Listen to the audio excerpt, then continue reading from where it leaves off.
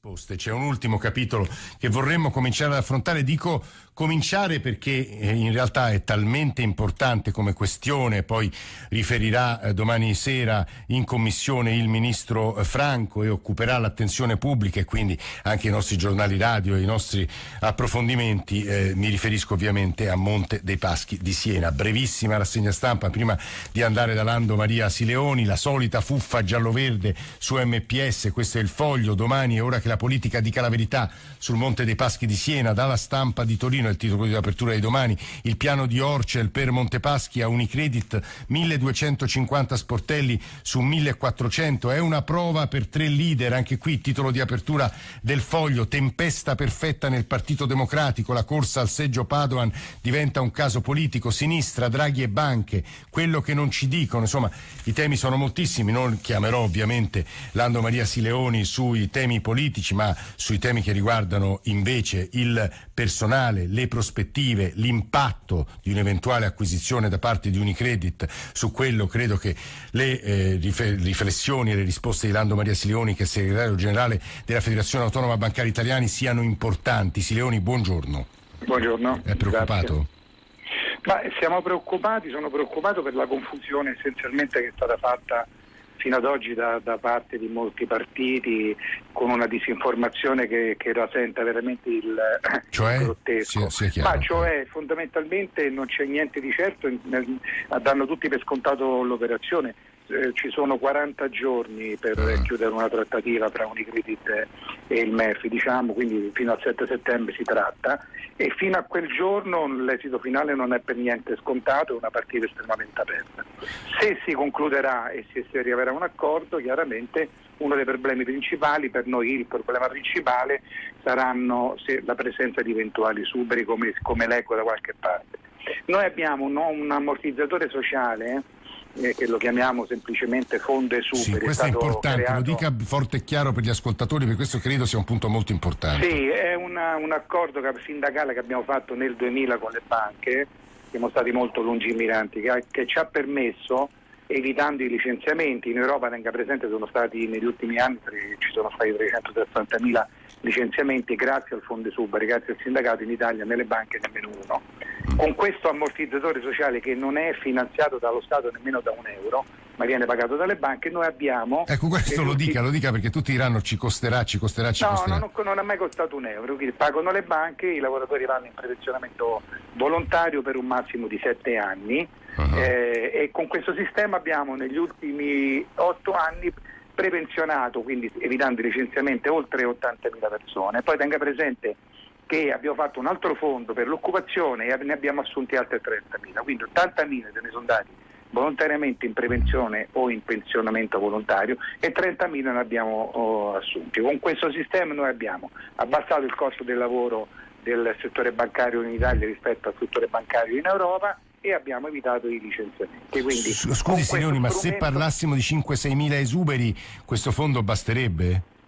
Guardi, basterebbe, basterebbe, fino a un certo punto perché ci, ci vuole un finanziamento, in questo caso sì, da parte dello Stato, perché lo Stato ha il 68% di proprietà del monte, quindi dovrebbe alimentare, come fanno tutte le banche, dovrebbe, le banche quindi non, baster, non, basterebbe il fondo esuberi, questo ci sta dicendo? Non basterebbe il quantitativo di denaro che c'è sul fondo esuberi, eh, servirebbe un, un, un, finanziamento da parte ah. eh, dello Stato attraverso il Monte dei Paschi quindi il monte del Prevento lo Stato dà dei soldi al monte, il monte dà dei soldi al Conte ah. Superi e quindi con questo sistema noi potremmo prepensionare, ma guardi che è la fotocopia dell'operazione, io poi non capisco tanta cioè, la capisco perché siamo in campagna sì, elettorale perenne, no? eh. ma non è neanche giusto. Ma è la stessa operazione, la fotocopia, salvo qualche formalismo tecnico, sì. eh, del, del, salvataggio delle due banche venete da parte delle, delle banche intesa anche allora intervenne lo Stato. Io vorrei ricordare a tutti i, i clienti. Ci mise 5 banche, miliardi, se non sbaglio, Sileoni. Sì, sì, sì oltre 5 miliardi. Eh. Io vorrei ricordare a tutti i clienti delle banche e chi ci ascolta che se, se dovesse fallire una banca c'è un rischio sistemico per l'economia di tutto il paese e poi noi non possiamo permettere che in questo caso 22.000 lavoratori e lavoratrici del Monte dei Paschi vadano, a Perché ora Silioni, mi corregga se sbaglio, la, la sua impressione è che eh, ci sia una, una, spinta da parte di un pezzo della politica a dire non interveniamo in questa vicenda, eh, so, soprattutto che, che Unicredit non si, non si prenda il Monte dei Paschi di Siena perché per ragioni evidenti anche per quelle che vengono considerate le responsabilità del Partito Democratico, questa è una lettura a suo avviso sbagliata e fondata su dati sbagliati, da quello che capisco. Cioè, allora, sono state esasperate delle situazioni eh, I numeri non sono quelli che sono stati detti, ah. eh, lo spezzatino anche noi siamo contrari allo spezzatino, eh. ma poi, poi, vedremo se c'è questo spezzatino, perché come oggi un giornale scrive che potrebbe eh, Unicredit eh, tenersi 1250 esatto, sportelli su 1400, questo significa che ci sarebbe eventualmente un mino spezzatino con un 100 filiali che andrebbero molto probabilmente a MCC al Gruppo esatto. Popolare del Bari perché c'è un progetto di costruire la Banca del Sud. Ma l'aspetto, più importante, sì. l'aspetto più importante, è che la disinformazione eh, poi mm. toglie fiducia alla, alla clientela, toglie fiducia ai mm, cittadini. Mm, Questo è un problema, chiaramente non bisogna svendere sì. niente ma è un problema che va affrontato per quello che realmente è. No? Sono stati buttati dalla finestra 20 miliardi di aumento di, di, di, di, aumento di capitale da parte dello Stato dal 2010 ad oggi sul mondo sì. Guardi, Sileoni, eh, razionalità anzitutto, questo è l'invito, se non sbaglio, Ilando Maria Sileoni, segretario generale della Fabi, ci stava ascoltando Antonio Misiani che sta seguendo il dossier MPS molto delicato per il Partito Democratico, anche oggi severe analisi sul ruolo eh, storico del Partito Democratico a Siena e MPS. Buongiorno Misiani, benvenuto. Buongiorno, buongiorno a tutti voi. In una lettera al Corriere della Sera lei dice quali sono per voi i punti fermi. Sono cinque, forse non facciamo in tempo a ripeterli tutti. Devo dire che l'intera prima pagina del quotidiano domani che suggerisce di dire la verità alla politica fa un quadro talmente drammatico degli errori e del presente del Monte dei Paschi Siena che forse le ipotesi che voi suggerite suonano un po' illusorie, Misiani. Ma guardi, noi dobbiamo approcciarci con freddezza e con razionalità. Gli stress test hanno detto che il sistema bancario italiano è complessivamente solido nonostante la drammatica recessione del 2020 con un punto di fragilità in MPS e su MPS è necessario assumere una decisione. Il MEF e Unicredit hanno esplicitato un interessamento di Unicredit nei confronti di MPS ci sono altre ipotesi nel dibattito pubblico, oh, l'ipotesi di un terzo polo, che però è un'ipotesi di scuola e sì. non concreta, e l'ipotesi che MPS prosegua da sola. Noi ascolteremo con attenzione quello che dirà il Ministro Franco mercoledì di fronte alle commissioni finanze e, e auspichiamo naturalmente che il Governo espliciti le ragioni per le quali uh, ritiene l'opzione Unicredit migliore e più efficace sia per MPS che per il sistema bancario nel suo complesso rispetto alle altre. C'è un tema occupazionale che va affrontato con grandissima... Però Sileoni ci ha, non dico rassicurato, però ha fatto chiarezza, ha detto guardate non è molto diversa dalla questione Banche Venete e, e Banca Intesa.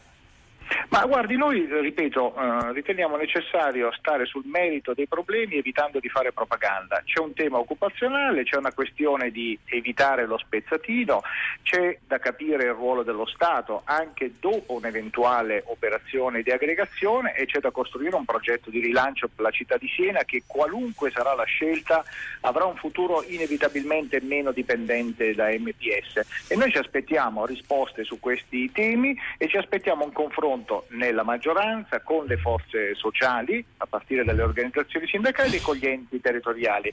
Non credo che siano posizioni illusorie e quanto sta venendo fuori, ma ripeto, aspettiamo le parole ufficiali del ministro Franco, credo che possa rispondere efficacemente alle sollecitazioni nostre. Misani, un, una domanda secca. La Ruocco, Presidente della Commissione eh, sulle banche, chiede di domandare più tempo a Bruxelles, ma qui le rispondo, è dal 2017 che sappiamo che dovevamo chiudere entro quest'anno, è, è illusorio questo, sbaglio? Ma guardi, tutti vorremmo avere più tempo a disposizione, però e lo sentiremo immagino dal Ministro Franco, io ritengo molto complicato ottenere più tempo dall'Europa e in ogni caso il risultato degli stress test che pone Siena all'ultimo posto tra le grandi banche europee con un indice CET1 negativo nello scenario più avverso e quindi che evidenzia una situazione problematica, eh, io credo che eh, renda necessaria una decisione sul futuro della banca. Mesiani, veramente 30 secondi. Padoan, Letta che si candiderà in quel collegio, il Partito Democratico è consapevole che qualsiasi mossa faccia verrà accusato di essere il responsabile del disastro?